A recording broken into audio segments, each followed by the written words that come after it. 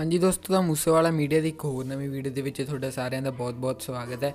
ਤਾਂ ਦੋਸਤੋ, ਸਿੱਧੂ ਮੂਸੇਵਾਲੇ ਨੇ ਇੱਕ ਨਵੇਂ ਗਾਣੇ ਬਿਲਟ ਡਿਫਰੈਂਟ ਦੇ ਵਿੱਚ ਚੀਟ MP3 ਨੂੰ ਜਿਹੜਾ ਕਿ ਇੱਕ ਵੱਡਾ ਰਿਪਲਾਈ ਦੇ ਦਿੱਤਾ ਹੈ।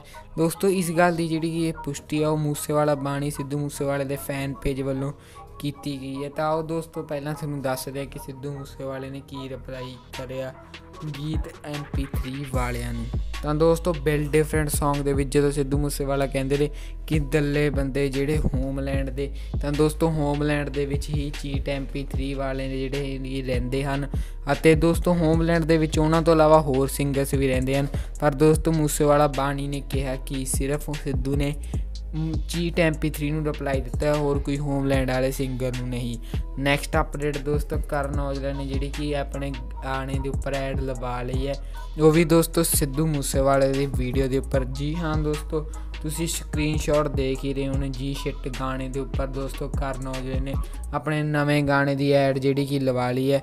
ਅਤੇ ਦੋਸਤੋ ਇੱਕੋ ਲਖਤ ਹੀ ਤਾਂ ਹੀ ਕਰਨ ਔਜਲੇ ਦੇ ਗਾਣੇ ਦੇ ਇੰਨੇ ਵਿਊਜ਼ ਜਿਹੜੇ ਕਿ ਵੱਧ ਰਹੇ ਹਨ।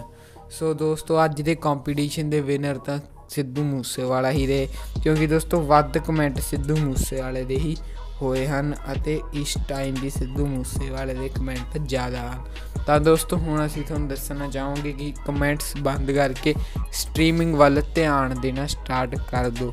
ਸੋ ਦੋਸਤੋ, ਅੱਜ ਦੀ ਵੀਡੀਓ ਦੇ ਵਿੱਚ ਬਸ ਇੰਨਾ ਹੀ। ਜੇਕਰ ਵੀਡੀਓ ਵਧੀਆ ਲੱਗੀ ਹੋਵੇ ਵੀਡੀਓ ਨੂੰ ਲਾਈਕ ਕਰਕੇ ਸਾਡੇ ਚੈਨਲ ਨੂੰ ਸਬਸਕ੍ਰਾਈਬ ਕਰਨਾ ਨਾ ਭੁੱਲਣਾ ਅਤੇ ਡਿਸਕ੍ਰਿਪਸ਼ਨ ਵਿੱਚ ਦਿੱਤੇ WhatsApp ਗਰੁੱਪ ਨੂੰ ਵੀ ਜਰੂਰ ਜੁਆਇਨ ਕਰਨਾ ਤੇ Instagram ਦੇ ਉੱਪਰ ਫਾਲੋ ਕਰਨਾ ਨਾ ਭੁੱਲਣਾ।